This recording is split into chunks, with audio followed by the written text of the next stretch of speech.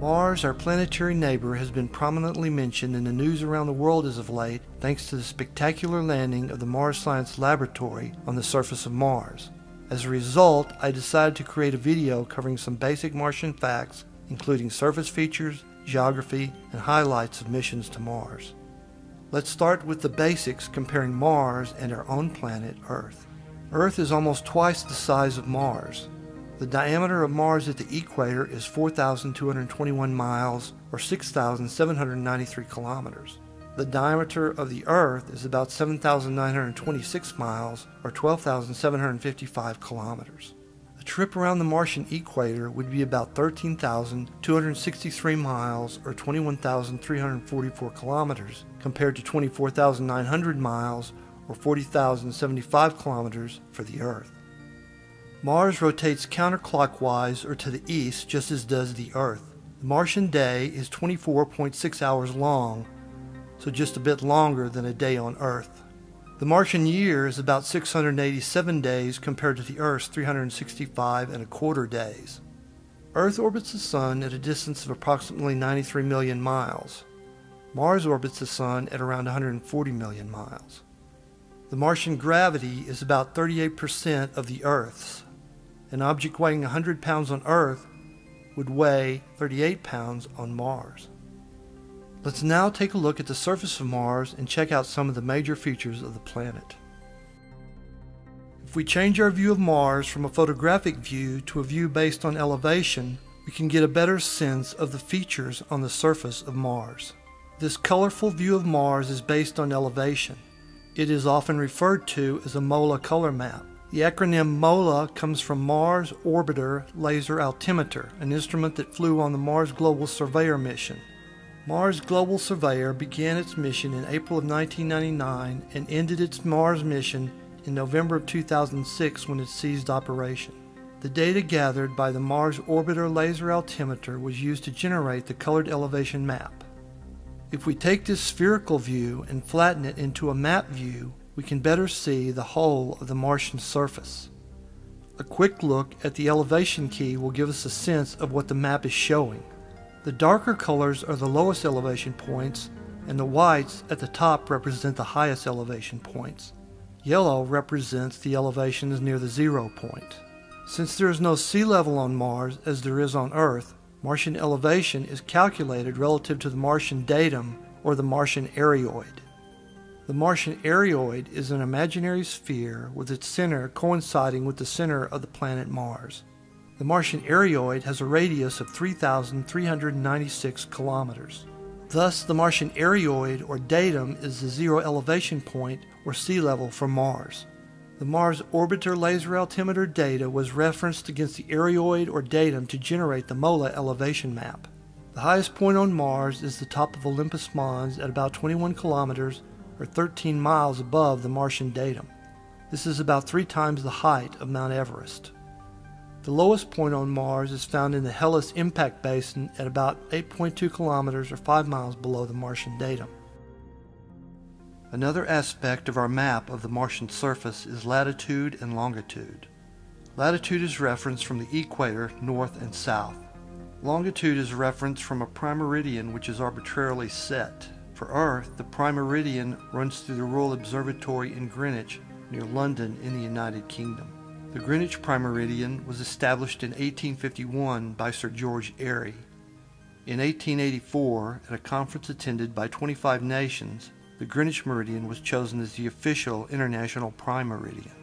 The Martian prime meridian was initially established from 1830 to 1832 by the German astronomers Beer and Mädler when studying the rotation of Mars. In 1877, the Italian astronomer Schiaparelli used the same meridian reference for his map of Mars. In 1972, the U.S. Mars orbiter Mariner 9 mapped the Martian surface in great detail.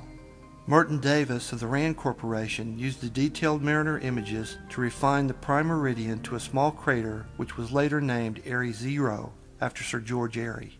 Mars' longitude was measured 180 degrees west and 180 degrees east of the Martian prime meridian for many years. Around 2002, there was a trend towards using a planetocentric east longitude system for Martian maps. The planetocentric east longitude system measures longitude from 0 degrees to 360 degrees eastward from the Martian prime meridian. We will be using the planetocentric east longitude system on the MOLA map in this video. Let's now take a look at some of the major features on the surface of Mars. First we have Olympus Mons, the tallest mountain on Mars and also the entire solar system. Olympus Mons is actually an extinct volcano. Back to the west, we have Elysium Mons, another extinct volcano. To the west of Elysium Mons, we have two areas of vast plains. First is the Isidis Planitia. Back to the east, we have the Utopia Planitia. Below the Isidis Planitia, we have the Hellas Planitia or impact basin the largest impact basin on Mars at 2,300 kilometers or 1,400 miles in diameter. Above and to the west of Olympus Mons, we have the Amazonis Planitia. Back to the east, we have the Tharsis Montes, a large region dominated by three huge shield volcanoes, the tallest of which is Ascraeus Mons, which rises 18 kilometers or 11 miles above the Martian datum. Below the Tharsis Montes, we have the Valles Marineris, the largest canyon-like structure in our solar system.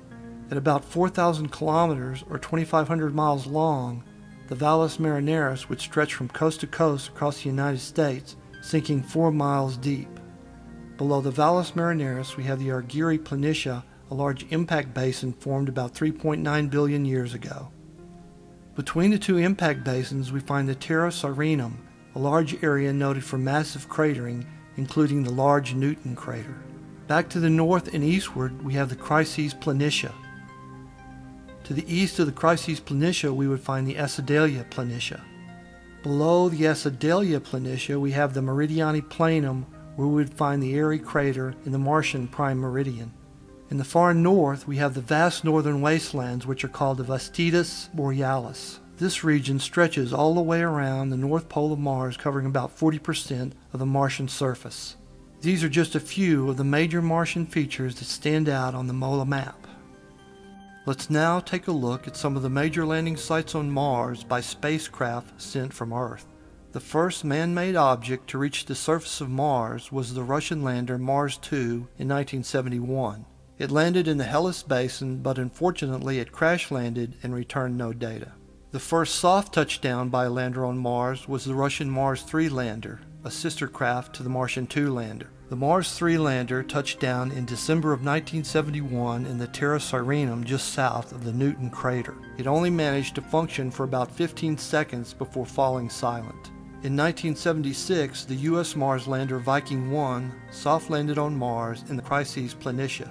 The Viking 1 became the first Martian lander to soft land and successfully carry out its mission, which lasted for about six years. The Viking 1 also sent back the first color image from the surface of Mars.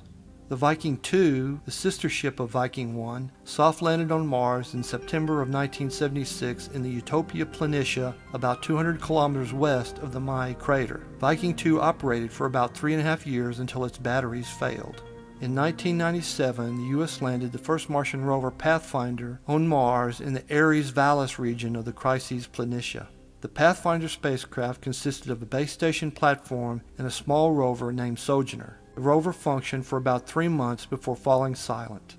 In 2003, the U.S. launched two rovers to Mars named Spirit and Opportunity. Both rovers landed on Mars successfully in January of 2004. Spirit landed in the Gusev crater south of the Martian equator. Spirit operated until March of 2010 when it fell silent. Opportunity landed in the Meridiani Planum not far from the Endeavour crater where it continues to function and work today. In 2008, the U.S. landed the Phoenix lander on Mars, the first successful polar landing. The Phoenix landed in the Vastitas Borealis region near the Heimdall crater far to the north of Olympus Mons in a 50 kilometer wide valley dubbed Green Valley. The lander functioned for about five months before succumbing to the harsh Martian winter. In August of 2012, the U.S. rover Curiosity landed on Mars at Gale Crater. Let's take a closer look at Curiosity in its new home, Gale Crater. If we were to fly over the surface of Mars, moving westward from the Valles Marineris, we would find the Gale crater lying near the Martian equator about 1,830 kilometers or 1,140 miles south of Elysium Mons. Gale crater lies along one of the most striking geological features of the Martian surface, the Martian crustal dichotomy. The Martian dichotomy is a geological transition zone separating the southern highlands from the northern lowlands. Let's switch to a planetary view to get a better sense of this geological feature. In this MOLA elevation view, we can get a real sense of the massive nature of the Martian dichotomy.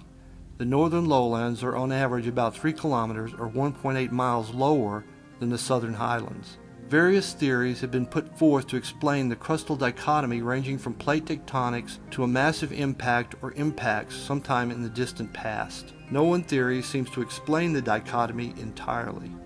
If we zoom back in on the area around Gale Crater, we can see that the terrain holds a lot of interesting features. One of the most interesting areas is the Aeolis Mensae, an area of mesas and deep valleys. The distance across the area shown in our graphic is about 540 kilometers or 336 miles, about the equivalent of driving from Phoenix, Arizona to Huntington Beach in California. Let's take a closer look at the eastern end of Aeolis Mensae. In this image from the European Space Agency's Mars Express Orbiter, taken via the high-resolution stereo camera, we can see some of the interesting features of the Aeolis Mensae. The sunlight is coming from the west or the left side of the photo, illuminating the landscape. As we zoom in, we can see ripple-like marks on the floors of the canyons. It is theorized that these ridges were created over the eons by the Martian winds blowing through the canyons. Geologically, these small ridges are termed yardangs. In this photo from a desert area on Earth, we can see wind-shaped sand dunes similar to the yardangs on Mars. As we pull back out and look at Aeolis Mensae from a distance, it's hard not to wonder if water ever played a role in creating the valleys and channel-like structures we see in the landscape. This brings us back to Gale Crater and the mission of the Mars Science Laboratory, aka Curiosity. The 90 mile wide Gale Crater is a prime location for studying the geologic nature of the area along the Martian crustal dichotomy due to its central peak, Aeolis Mons. Aeolis Mons itself rises about 5.5 kilometers or 18,000 feet above the northern crater floor. The layered sediments comprising Aeolis Mons are estimated to cover 2 billion years of Martian history. These sediments are a record of the crater's geologic past, a past that may include the possibility of a lake of some sort. If there was once water in Gale Crater, this will be reflected in the sedimentary layers. Curiosity's mission will be to study these sediments and return the data to the geologist on Earth. That data will hopefully play an important role in solving some of Mars' mysteries. Let's take a moment to check out Curiosity's location in Gale Crater. Curiosity landed at the bottom of the northwest slope of Aeolis Mons. The latitude is about 4.59 degrees south with a longitude of 137.44 degrees east. If we switch to this photographic view of Gale Crater, we can orient ourselves for a look at one of Curiosity's panoramas of its landing site. Note on the north rim of the crater this circled peak. This is the same peak pictured in this photograph by the Curiosity rover. In the photograph, we are looking north toward the rim of Gale Crater. The mountain lies at about 24 kilometers or 15 miles to the north of Curiosity's landing site. Standing at around 1150 meters or 3,775 feet tall, the peak lies just a bit west of 0 degrees north by about 15 degrees. As we start Curiosity's 360 degree panorama of Gale Crater, let's orient ourselves with the same peak we saw in our last graphic. I generated this panorama from one of the early 360 degree views taken by Curiosity. Starting at the north, we will rotate counterclockwise toward the west. The insert of the crater will help with orientation. The sun can be seen illuminating the west rim of the crater as we pan around. The crater rim to the west is about 40 kilometers or 25 miles away. As we move around to the south, we can begin to see the lower slope of Aeolis Mons. The high peaks on the rim in the distance are about 75 kilometers or 47 miles away. As we swing around, notice the dark colored dunes composed of basaltic sand. We can get a better sense of what they look like in this aerial view of the dunes.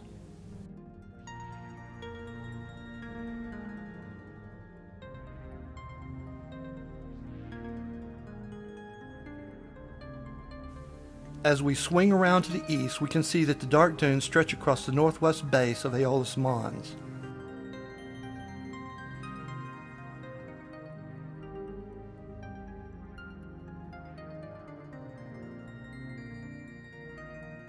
The northeastern rim, which is about 50 kilometers or 31 miles away, is obscured by the dust in the air, which limits visibility.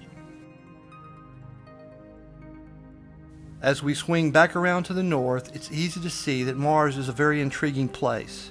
It will be exciting to see what mysteries curiosity can unravel and what new questions may arise.